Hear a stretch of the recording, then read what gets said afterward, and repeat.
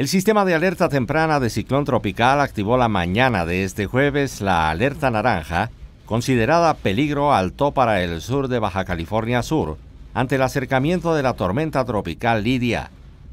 Ante esta situación se recomienda a las personas evacuar las zonas de riesgo y acudir a un refugio temporal. Además, quienes viven cerca de ríos o lagunas deberán vigilar los niveles del agua, así como cerrar puertas y ventanas y cortar el suministro tanto de electricidad como de gas. En su reporte más reciente, el Sistema Nacional de Protección Civil indicó que también se activó la alerta amarilla para el centro y norte de Baja California Sur, así como en costas de Sinaloa y Nayarit, por lo que se sugiere a la población identificar un refugio temporal más cercano y la ruta más rápida para llegar.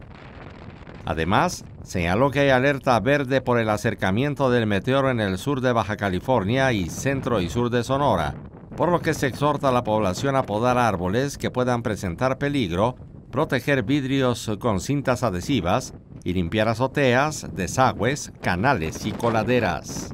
Notimex.